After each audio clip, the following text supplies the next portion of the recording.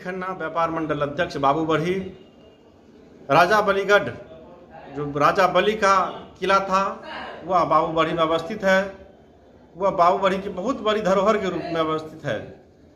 पुरातत्व विभाग के द्वारा कई बार, चार से पाँच बार खुदाई की गई है। उसकी जो अवशेष मिला है, वह पटना म्यूज़ियम में रखा गया है।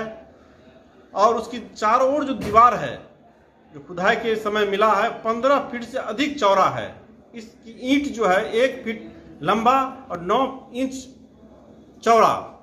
एक विशेष तरह की ईंट भी है और जो किला है वह देखने से महसूस होता है कि वो एक राजा बली का बहुत बड़ा साम्राज्य था और उसके अंदर 360 एकड़ ज़मीन भूखंड है राजा बली का, जो अपने आप में ऐतिहासिक है और बाबू बड़ी की बहुत बड़ी एक धरोहर के रूप में अवस्थित है, उसके लिए हम लोग गौरवान्वित महसूस करते हैं।